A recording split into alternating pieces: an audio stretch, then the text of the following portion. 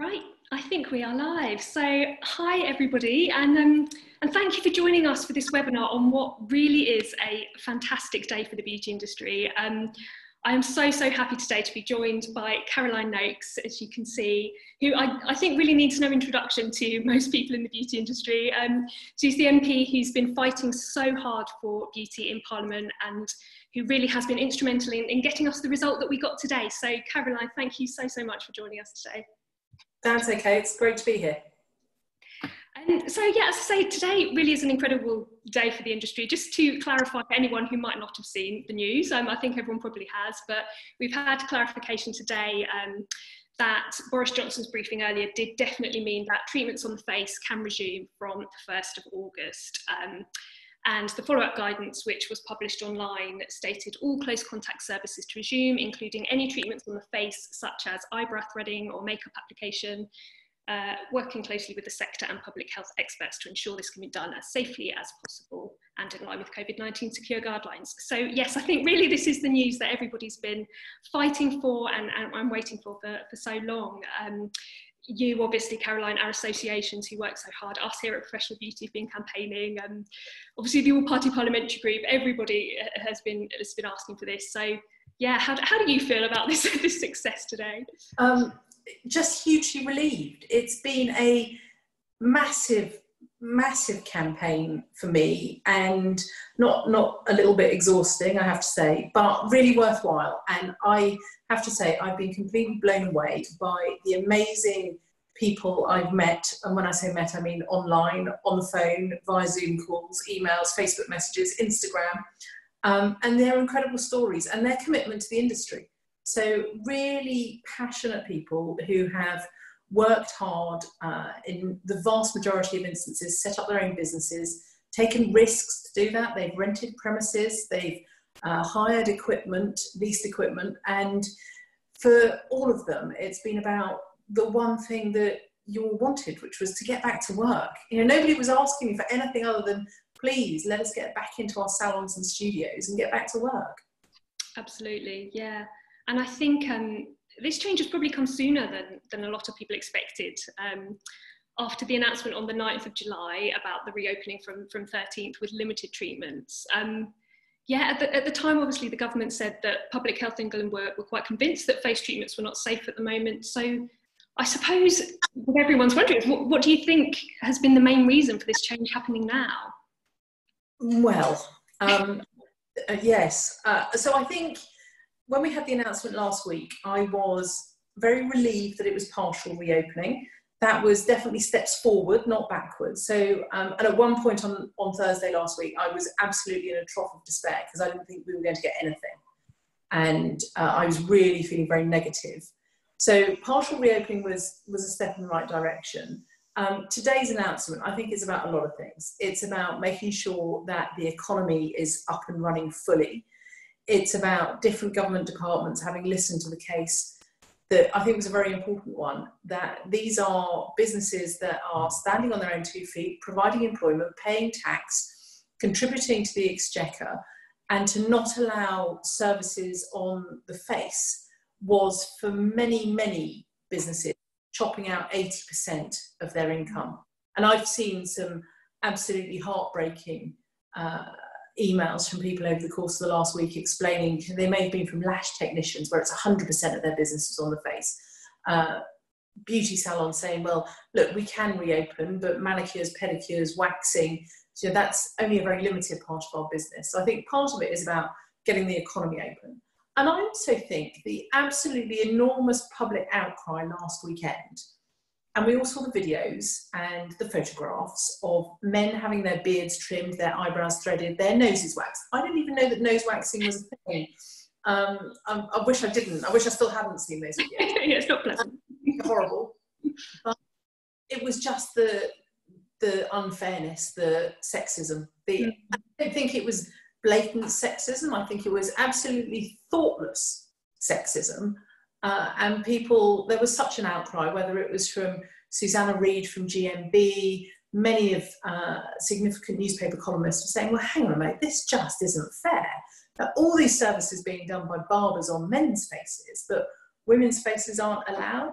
and you know, my heart really went out to uh, people with things like polycystic ovary syndrome who weren't able to get uh, facial waxing or electrolysis, to people who had uh, alopecia or cancer sufferers who were just waiting, waiting, waiting for an appointment where they could go and get eyebrows bladed or they could get uh, other procedures just just to make them feel a bit better about themselves. And I think one of the heartbreaking things for me was was reading emails from uh, practitioners who just wanted to go back to work and provide those services for women in the main part, but not exclusively women, who were so desperate to have the treatments that they needed, whether it to be to cure migraines or um, various other sort of practices that would just make them feel a bit better about themselves. And so I think we've got equality finally. We've got a date, which was what I was pestering last week. And just give us a date, Boris. Yeah. Um, and the 1st of August, it may seem a way off, but actually, you know, it's, it's pretty imminent. And so uh, I think a good reason to be happy today. Absolutely, absolutely. And for all those reasons that you've mentioned, I think people have been frustrated throughout this that the understanding of the complexity of the beauty industry isn't there that you know it's not just makeup and nails much as you know they're very valid in themselves there's so much to it you know isn't there and there are so many people that it helps and i think the fact that that's starting to be recognized is is fantastic and i think some people are kind of already asking lots of questions but one thing i know a lot of people are, are keen to know is do you think this will apply to the whole of the UK? I think people in England are celebrating hugely today, but Scotland and Wales are still not completely sure. And I know it's not been announced, but do you have any any thoughts on that? Do you think that this means we're likely to have restri- no restrictions there? So this is one of the challenges of devolved government, and that will be for the Welsh Assembly and the Scottish uh, Parliament to decide. I think we've seen uh, from Wales that they tend to lag a little bit behind us. But remember, this announcement has come today for the 1st of August. So there's plenty of time for Wales and Scotland to make the similar changes to guidelines and get the industry up and open there as well. I hope they do. I really hope they do. Uh, and I've had contact from um, you know, a therapist in Troon in Scotland, several from Cardiff, all wanting answers. And you know, I'm not surprised they want answers. Um, and I think it's important that the devolved governments crack on and let them have the information as well. Yeah, absolutely. And I think people are at least given some hope from today's announcement that you know if, if, if this has been implemented here with fingers crossed for, for the rest of the UK very soon and so I suppose, Caroline, obviously we, you know, we, we discussed a little bit in advance what we were going to talk about today, and that's all gone out the window with the, with the announcement earlier, which is great.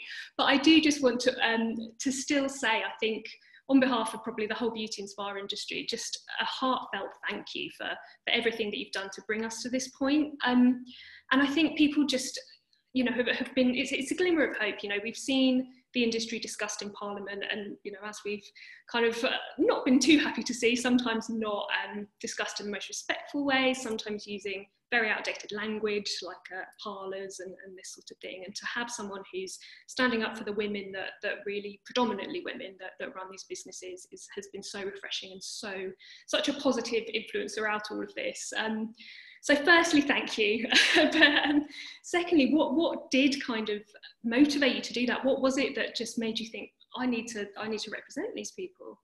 So, um, a, a bunch of things, and I think first and foremost, you have to remember that the first time I raised it in Parliament, I had gone into the chamber to talk very specifically about uh, planning restrictions on listed pubs.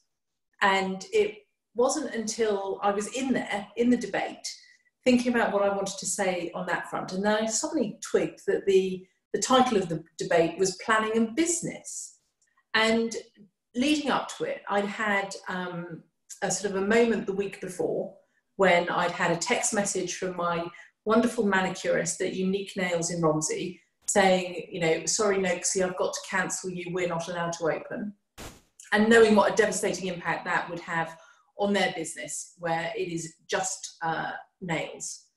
And so I knew that there was a whole chunk of uh, the beauty industry that wasn't able to open. I had had emails and messages from Pilates instructors, uh, yoga instructors, dance studios, all in my constituency. And the week before, on the I think on the Thursday, I'd written an article that was later published on Conservative Home, where I was just kind of trying to bring together my thoughts about why is it that we've opened up football, fishing, and golf, and not dance, yoga, and Pilates. And that was really where it started the whole uh, kind of argument that this is a relaxation of lockdown designed by men for men. And uh, so I'd written the article and I knew it was going to be published the following day, but then I'm sat in this debate and thinking, well, actually, all of the arguments that I made in that article that's going to be published tomorrow, they're all valid to this debate because they're all about business. And we know that 80% of Pilates instructors are women, that they are largely, not exclusively, uh, catering to a female clientele. The beauty industry has something like over 90% of the people employed in it are women, and it's 370,000 employees. These, these are massive, massive numbers. Mm-hmm. And it's turning over 28 billion pounds a year. And it, it all sort of coalesced into a hang on, this is about business. This is about enabling every sector of the economy to open up. It's about giving female entrepreneurs, because that absolutely is what the beauty industry is full of entrepreneurs. Um, and it's about giving them exactly the same breaks as those male led businesses, the construction sector, which never locked down. Um, and so I, it just, to me, it felt very unfair. And yeah. so I stood there in the chamber without having prepared a single word, without having really thought what I was going to say, and just went, No, you lot are going to get the benefit of my views and then it sort of snowballed from there because I was thinking, well, I'm getting glib answers from ministers who aren't really listening. I did a Zoom call with uh, three people, uh, two of them working on uh, aesthetic tattooing, and one guy who was just a. I don't mean that just a tattooist. He was a, an artistic tattooist, and that was where the the conversation started about parlors and mm. studios and the sort of real 1970s language. Yeah. So it then became a case of every day last week, I was looking at that order paper in Parliament going, where can I raise this? What, you know, what opportunities coming up? And what can I do to get colleagues on board? Because we had the awful, um, you know, perception that Will Wragg was sniggering at people, and Will wasn't. Will yeah. was standing up for lush beauty in Hazel Grove and trying to do the right thing, and that all kind of backfired on him. So I thought, well, actually, every time I stand up in that chamber and talk about the beauty industry, I'm going to do it from a position of real seriousness. I'm going to do it from a position of employment, of entrepreneurship, of the massive contribution to GDP these businesses are making. And you know what? I could I could have gone on. Every time I stood up in there, I was on some hideous three or four minute time limit. So I had no chance at all to get across the points that I wanted to.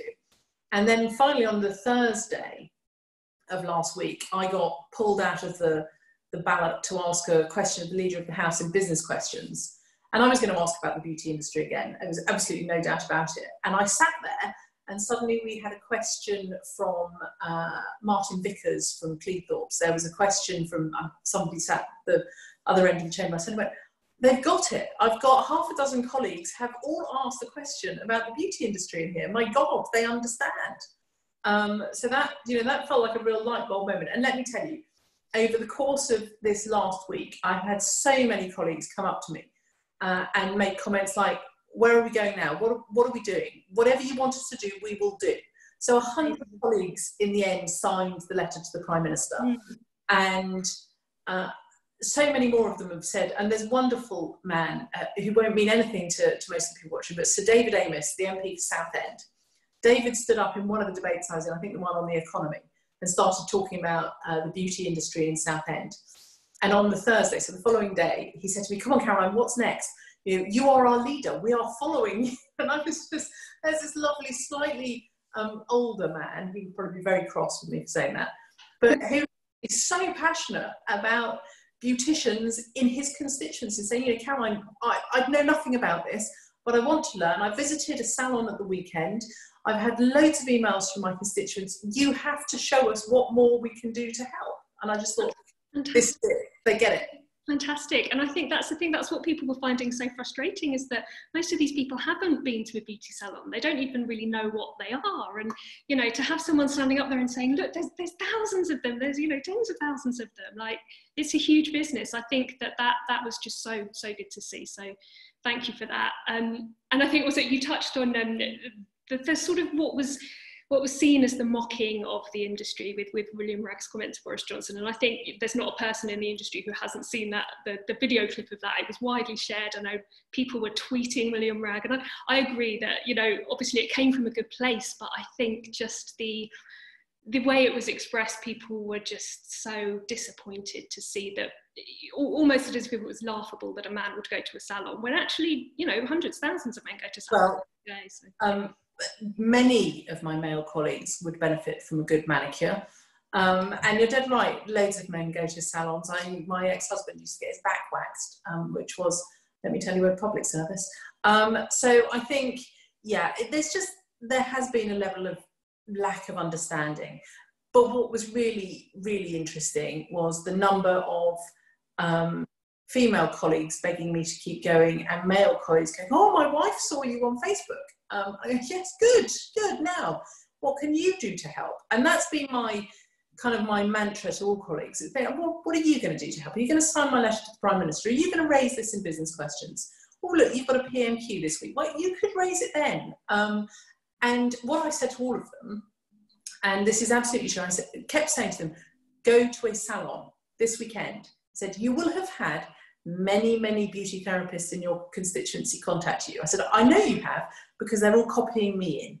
Yeah. So when they invite telling them to do that. So when they invite you to their salon, I said, go. One, you'll learn a lot. Two, you will meet some great people. You will meet a whole new dynamic of young female entrepreneur in your constituency, and you will learn a great deal from them. And you know what? They will be appreciative that you're taking the time to learn. You're not going to go into a a hostile environment, let me tell you, they will be really welcoming. They'll explain what they do. Um, and some of it you will find very uncomfortable in the same way that I find nose waxing uncomfortable. But you know, you're going to learn a great deal. So go and find out about this business because you know, and I did the maths at some point. If it's 370,000 people employed in the beauty industry across the country, that means in every constituency there is more than 500. There are more than 500 people employed in this sector that's a massive chunk of your electorate. So go and meet.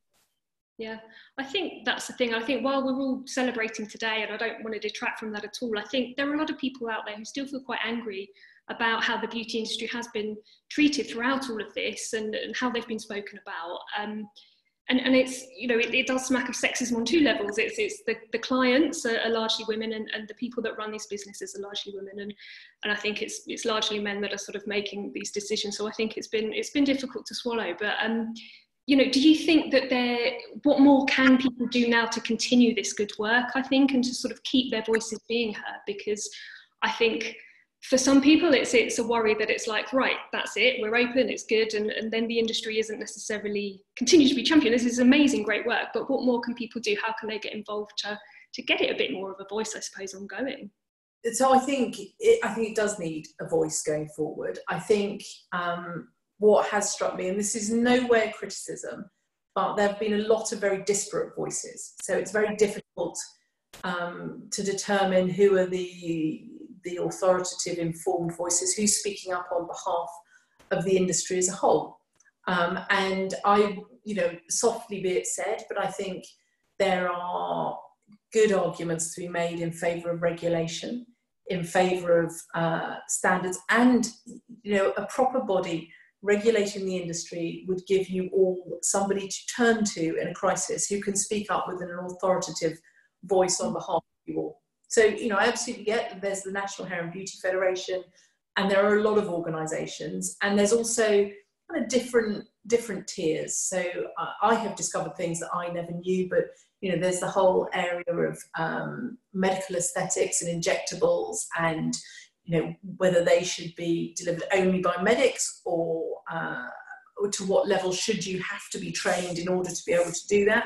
And I think, uh, and I also heard some people dealing in the world of aesthetics say use the phrase oh well that's just beauty. Yeah. To which I would always reply, mm, no, there's no such thing as just beauty. This is where the bulk of the people are employed. This is where the bulk of the revenue is. And it's also, and you know, I believe this absolutely passionately, it is the part of the industry that is interacting with so many people every single day, providing you know, things like tackling loneliness. And I always say this, and apologies to those who've read the article I wrote. You know, I toddle in and get my nails done every two to three weeks, depending on how carefully I've looked after them. Now, usually you end up on a sort of a bit of a rota, so you go in there and you see the same people having their nails done at the same appointment time on a Friday as I do and you get to know them and you get to know which ones uh, haven't seen anybody else that week the ones who are coming in there for a chat and it takes them a while to warm up and uh, and then they're you know they're away and they're laughing along with everyone else and i think actually part of the experience of going to a salon is you establish a rapport with your therapist i always say this my hairdresser and my manicurist know more about me than anybody else on the planet yeah. um, and I have both of them sworn to secrecy at all times. but it, you know, it's really true. It's about making people feel better, and you know, whether it's reflexology and a massage, whether it's uh, my personal favorite, an Indian head massage, deals with the migraines every time. Um, it's you know, it's about enabling people to feel better about themselves. It builds confidence and self-esteem, um, and it's about getting those messages out there that this isn't just beauty. This isn't something trivial. Uh, I I very rarely reply to people on Twitter because I think it's a cesspit. But uh, there was one lady who had a real go at me on Twitter and said, I don't know why you're wasting your time with this. It's just vanity. It's not vanity. It's about well-being and it's about people um, the ability to feel better about themselves, to feel more comfortable in their own skin. And there's nothing wrong with that whatsoever. And, and, I, and I think it's it's difficult, isn't it? Because it's such a broad industry. So it does range from nails and makeup, which again is completely valid and has its place and does help people feel better about themselves. But you know, it, it varies right into um, the more kind of medical type treatments and things that, that have been proven to help with depression and, and then the power of touch is, is such a huge part of that for massage and and lots of these sorts of things. And um, and I think that's the frustration for a lot of people that beauty is just seen as vanity, and it's mm-hmm. about so much more than that. And I think, you know, we touched on regulation very briefly, and I think that's such a difficult one, isn't it? Because do you think that, that one of the reasons that the beauty industry has been viewed as not COVID secure during the earlier stages of recovery is that there is no governing body to monitor and prove its safety?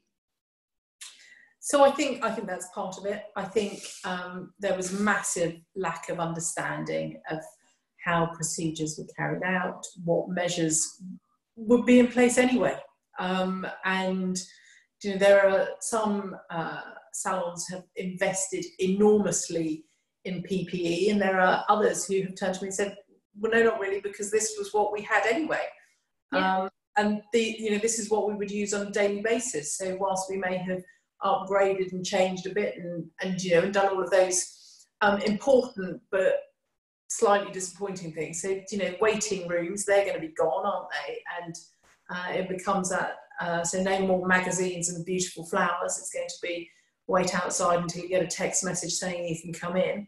Um, but you know most most places were very hygienic sterile environments and and there was no understanding about that so I do think um, I do think things will have to change, and I think it would be really beneficial to the industry as a whole if there was one united voice speaking on your behalf. And I recognise that that's really difficult and probably really controversial and hard to establish, and all the rest of that. But this crisis has demonstrated the power of having one voice speaking for you. I think. Yeah, I think um, also the frustration for a lot of people was that um, there, most people in the industry have been championing the idea of, of regulation or at least licensing for, for so, so long. And to kind of be told, well, you're not regulated, so we can't know that you're secure, uh, that you know that you're safe, is, is such a sort of a trap to be caught in because it's like well you, you won't regulate us so how are we going to to how do we move on from this you know could a silver lining in this mean that, that we're a step closer to regulation do you think for like mandatory regulation Well, so, um, and I always say this, I famously sat on a, a, bill committee for the deregulation bill where we were having a bonfire of red tape. And uh, at the same time, I had it pointed out to me by an opposition MP that I had been calling for better regulation of the hairdressing industry.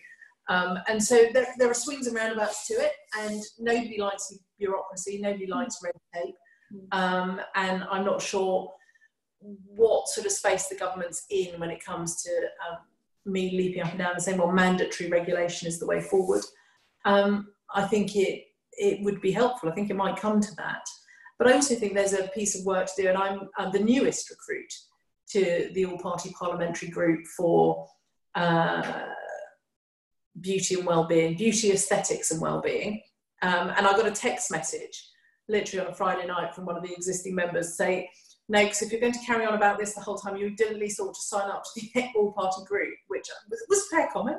Yeah. um, and uh, so I have done that. And I have to say, people like Carolyn Harris and Judith Cummins, great, you know, really hardworking, great advocates for the industry. And I know Judith has said quite a lot in Parliament over the past couple of weeks. Um, and, you know, they are uh, genuine, long-standing advocates for the cause. So I don't think I'm going to sit here and say, well, the APPG is going to call for regulation without first having spoken to them. That would be hugely disrespectful of me. But um, I can see that that may well be the direction of travel. Yeah, well, I think most people that are members of that, obviously you've mentioned NHBF, there's also BABTAC, UK Spa Association, British Beauty Council. I think, you know, it's, it's, it's heartening that everyone has joined together for this APPG. And I think most people that are involved in that are, are quite keen on regulation. So um, fingers crossed this could become a bit of a silver lining perhaps through all of this that recognition that some of these treatments do involve dangers, you know, on are quite quite controversial, if you like. So I think having some sort of system, because I think, um, as we were sort of touching on earlier, I think the difficulty is that there is an issue in in the industry with what some will refer to as non-standard salons. You know, there are salons out there that aren't operating safely, um, but the vast, vast majority are. And the difficulty is that everybody's judged the same way. So unless there's something to separate those that are and those that aren't, it's it's very difficult, I think, for most people to shout about how how safe they are and how well they're doing. Um, so I think that's a fair comment, and you're absolutely right. Most salons are uh, absolutely you know, tip top with all of their practices, incredibly hygienic, um, and you, you tend to hear about the bad, and that's the reality. I have learned many things about the beauty industry over the last uh, two or three weeks. First and foremost, uh, this is not a slur. You guys are the queens of social media. Oh my goodness. Um, so, uh, and, and some of you have been very good at lecturing me on my appalling Instagram. Um, and telling me at once, come on. I have to move forward, and the, uh, my Instagram is uh, a homage to my dog, and don't put any worky stuff on there. And I got a very um, accurate, uh, for which I'm actually very appreciative lecture from one lady who said, you have to move away from Facebook um, because young people don't use Facebook. That's for people your age. Thank you. Um, so I think that's, you know, that's really, uh, that's really noticeable. So, you know, when people do do good work in the, the beauty industry of whatever type, you are fabulous, absolutely fabulous about promoting that on social media oh my goodness, on a different level. And apologies to anybody who sent me a Facebook message in the past few weeks. I have, I there are so many of them, I just can't get back to them all. Um, and I, I look at my notifications and I cringe and I go, oh, I'm not coping with that. So, you know, good work gets celebrated on social media equally. If somebody makes a, a complete mess of someone's uh, will use eyebrows as an example because that's beloved of the Daily Mail. You will see it on uh, social media, you'll see it in the media. So um, I think uh, that's something I've learned is that you know word spreads very quickly and people build their reputations on uh, on the strength of the work that they do because you know it's there writ large on people's faces, isn't it? So you can't get away from having made a mess of someone's face. Equally, I look at um, some of the just the most amazing, beautiful photographs, uh, particularly um, some of the stuff that professional makeup artists do. Oh my goodness! Uh, so they are people from whom I could definitely take a lesson. Um, but you know, it, it's all very much laid out for the world to see. And I think that's actually a real strength of the industry is that you can therefore instantly see who's good and who's bad. Um, and the comments will tell you who's good and who's bad. So I don't think regulation is anything to be afraid of because I think uh, the industry already practices to enormously high standards, and I think it could be the way forward. And it also will give people kind of certainty and confidence that they're um, they're going to somebody who is accredited by a, a respected body. Absolutely, absolutely. So fingers crossed for that.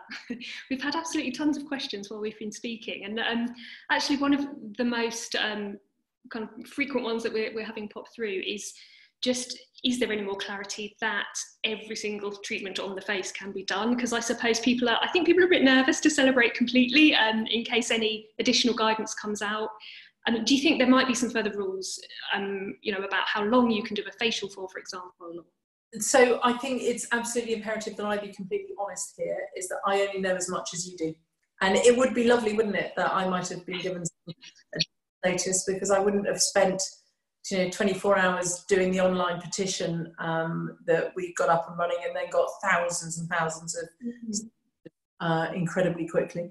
So I don't know. What I hope is that BEIS will issue guidance really quickly, but my understanding is that from the 1st of August, you can work on people's faces um, and there has not been a suggestion of a time limit or, or restriction and you know or, or different practices so i think we can all understand that some might be um, marginally less covid secure than others but you know the reality is as i was struck last weekend you know you could trim someone's beard which cannot be done with a mask on no. yet you can do someone's lashes where both uh, lash artist and customer could be wearing a mask. And I will admit I've never had false lashes, so I have no idea how long they take. Um, but it, it just struck me that every time I've had my eyebrows shaped, uh, then the wonderful Rena at Mayarju in Romsey has done it in, you know, maybe five, ten minutes flat, and that could be done with both of us wearing a mask. So, um, you know, it just made me a little bit cross then, but hopefully there'll be guidance will come out. Uh, hopefully there will be absolute clarity that from the 1st of August you can you know, do the electrolysis, because I know there are a lot of questions around electrolysis, mm. be able to do the semi-permanent makeup. Um, and, you know, most of all, and this is the thing that struck me as hugely unfair, is that as of um, last week, but I think earlier than that, you could have makeup artists doing makeup for films Yes. Not a makeup artist doing makeup for a wedding. Mm. And that just made me really angry because we all know if, uh, and I'm much older than everybody who's watching this, but the sort of Mrs. Doubtfire prosthetics. Uh, Robin Williams always used to say that it took four hours to get him into that makeup. And yet, somebody doing uh, professional makeup, you know, whenever I used to have to go and do a television interview, with Sky or the BBC, their makeup artists used to be allowed 10 minutes to uh, do their finest work on my face, and yet they've been allowed to go back, but will now from the 1st of August. Um, so, you know, there were just so many inconsistencies that made me really, really angry. Absolutely. And there's been a lot of, of, of talk about that as well within the industry. I think that one of the very difficult things was um, the wording before, where um, about face treatments, and it said treatments that take place in a medical environment, or I think was the wording, um, are not included in this. So I think a lot of aesthetic clinics decided that it was fine for them to open. And in a lot of cases, some of them were doing the exact same treatments that you would get in a beauty salon.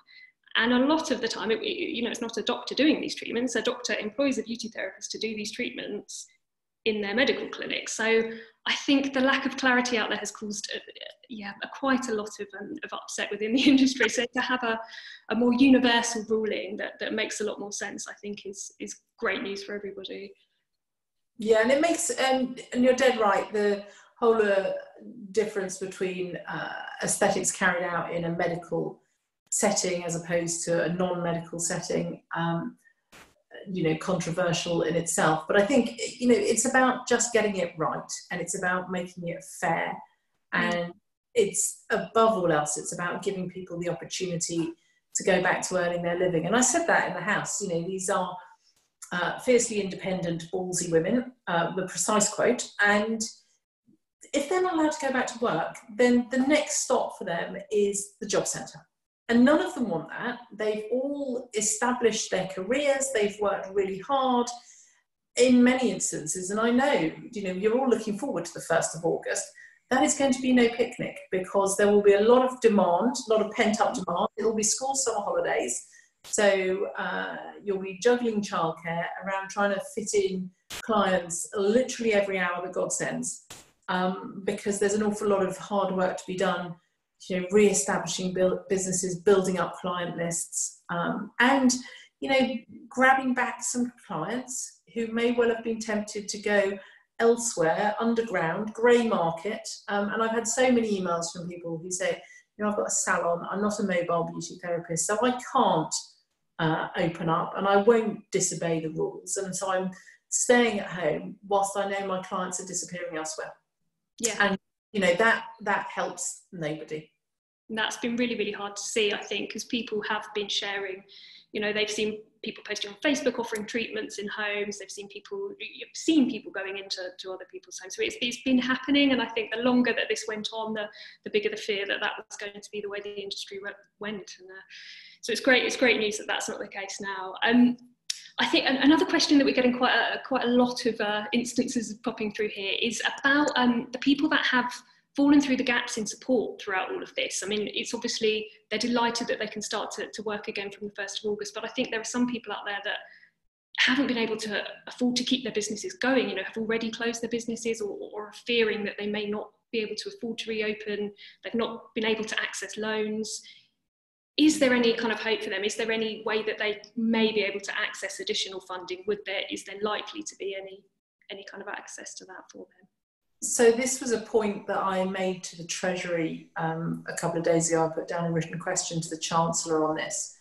And that was specifically, and apologies if I make this sound more complicated than I intend to, but that was specifically around businesses that were forced to remain in lockdown and those that were only able to reopen partially. So, if, for argument's sake, facials is 80% of your business or lashes uh, 100% of your business, you remain in lockdown whilst the rest of your industry has been allowed out.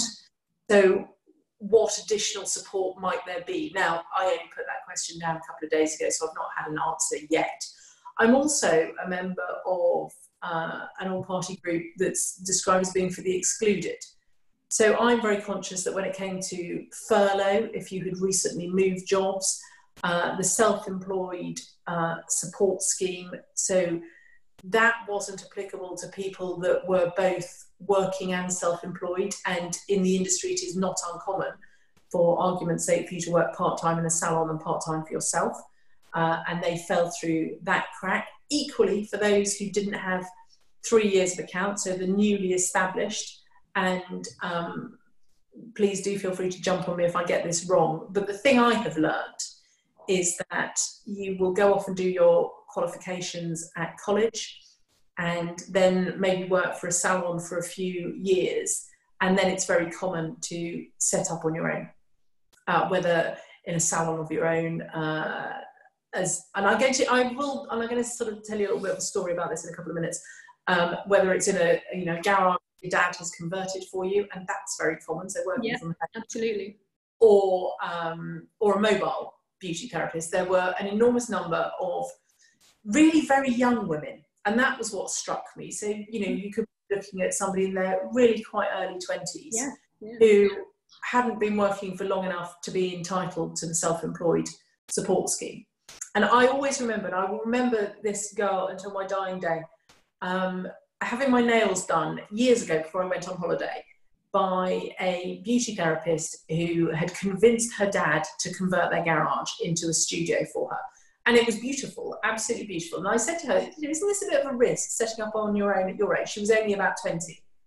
And she said, Well, I went off to college at 16 and I did a two year course. Um, and then I went and worked at one of the local hotels in my constituency. So I worked in the spa there. And she said, and for the minimum wage, I had to massage people all day long because they've come on a break. So actually, the treatment they want isn't a facial or mm. their they want a massage. Yeah, and that's hard work. Yeah, and that was the point she made to me. She said, you know, when you've done six clients in a day, she said you are exhausted and you're earning the minimum wage. And she said, so I sat down and I wrote a business plan and worked out that if I was painting other people's nails and that was all I did in my dad's garage, she said that I would be better off. And what was more important to me, she said I wouldn't be exhausted every night when I went home. Um, and you know that is exactly the sort of entrepreneurial young woman that we should be encouraging and helping. Um, absolutely, absolutely. No doubt about that. And you know, when we start looking at the Chancellor's package for support going forward and the industries that he wants to promote and encourage, and I suddenly thought, you know what, this is an industry where you have entrepreneurs, you have people who are self starters. They make a decision that it is in their own best interest to work for themselves you know what? It's exactly the sort of sector that enables people to work flexibly. It enables them, in some instances, to work from home, to juggle childcare around it. And I just think that if coronavirus has taught us, I mean, it has taught us a hell of a lot of things, but let it teach us that you have to look at kind of the industries that aren't really obvious and where the growth is possible there and where you might see all of those facets of employment that we want to encourage. You know, the flexible working. Mm-hmm. Um, we want to encourage people to be traveling less um, and you know working close at home. So this is an industry that can really do that. Yeah. Um, and so you know, I can't sit here and make any great promises um, because I am these days just a, a mere backbench member of parliament. But I, it's given me a real insight into looking at everything through the lens of do I think women are getting a fair break here? And if not, what could we do that was different, better uh, to make sure that they do? Yeah, absolutely. And I think that that's been so fantastic to see and people have really embraced that to, to be recognized as entrepreneurs and um, most most people in this business are whether they're setting up alone or whether they're running a large huge multi-site spa or salon group there's lots of entrepreneurs. One one person has actually commented which we should mention it's quite irresponsible to have allowed a, a therapist to do back-to-back massages which is very true. I think uh, spas and salons on the whole are very very cautious of their therapists so when they are employing people it should be limited amount of kind of hands-on time to avoid injury and again most people do so it's uh, it's i'm glad i didn't name it then but yes, I think they shouldn't be doing them back to back. And most people have all these kind of measures in place to protect their teams. And again, this is people doing all of this themselves. They're running their business, they're doing all the kind of staff care, and they're still delivering treatments most of the time. But they're managing to do that fantastically. So it's, it's been amazing to see.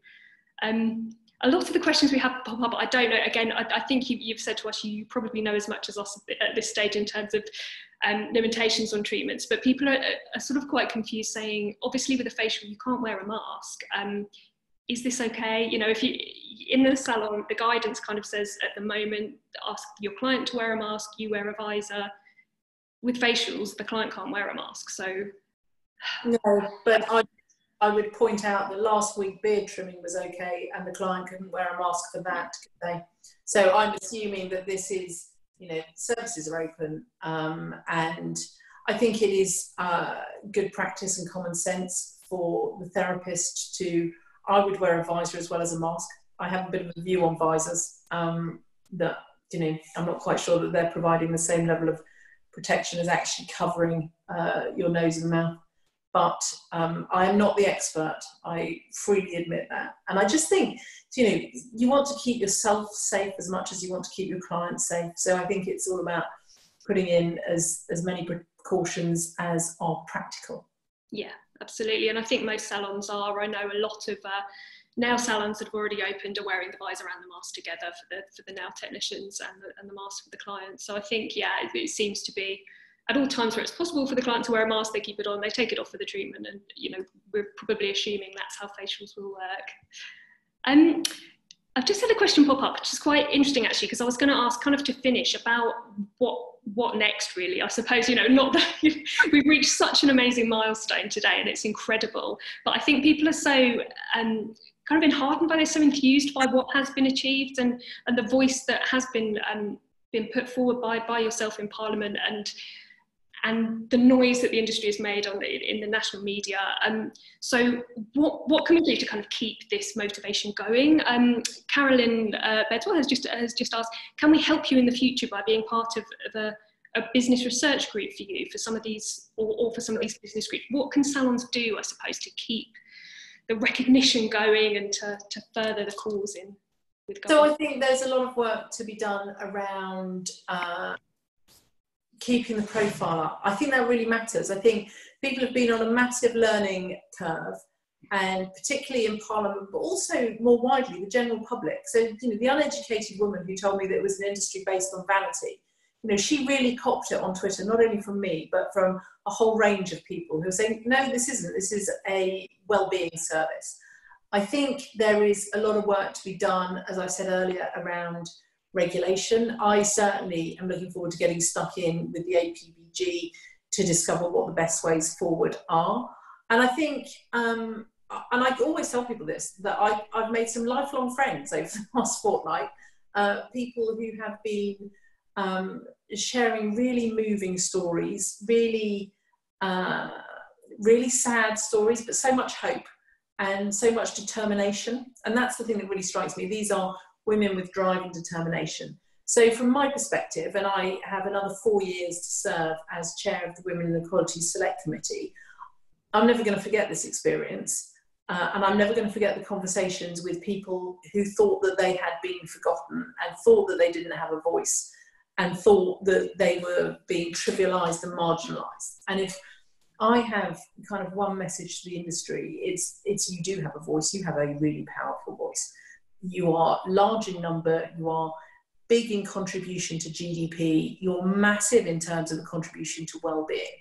So I know that MPs aren't always the flavour of the month, and you know you may not like the individual one that you have, but make contact with them and do it routinely. So you know if there's something that affects your industry or there's something that affects you that you see in the press or you uh, hear on television, then contact your member of parliament and let them have your opinion. It's really easy for us to, to make out that we know everything that's going on in our constituencies. We just don't.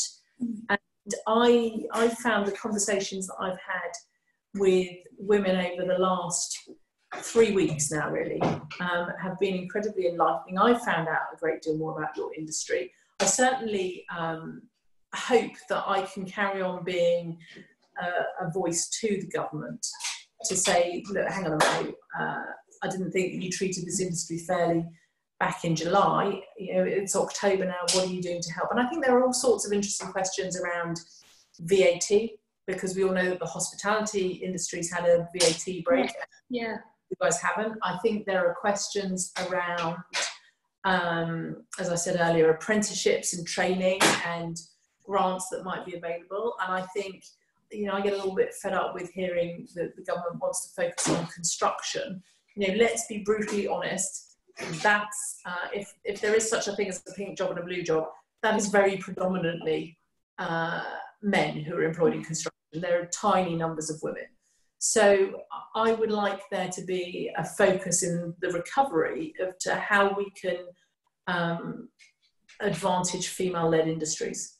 And I think that that's really important because you can't ignore 50% of the population. You can't pretend that, that workforce doesn't exist. And it's, you know, because we know the sectors in which women are very heavily employed, whether it's retail or hospitality, are the sectors that have been worst hit by the virus.